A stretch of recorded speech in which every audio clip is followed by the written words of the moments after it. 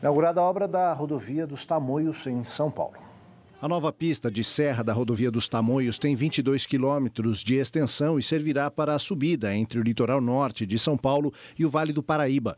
A obra beneficia mais de 3 milhões de habitantes e reduz o tempo de viagem pela metade. Neste primeiro momento, a pista vai estar aberta em operação assistida entre 6 da manhã e 10 da noite, menos nos finais de semana e feriados. 22 milhões de pessoas utilizam a rodovia dos Tamoios por ano. A duplicação é a maior obra de serra do Brasil, com os dois maiores maiores túneis da América Latina. Nós temos mais de 3 mil trabalhadores, dezenas de engenheiros, 3 bilhões de reais de investimentos feito aqui na rodovia dos Tamoios.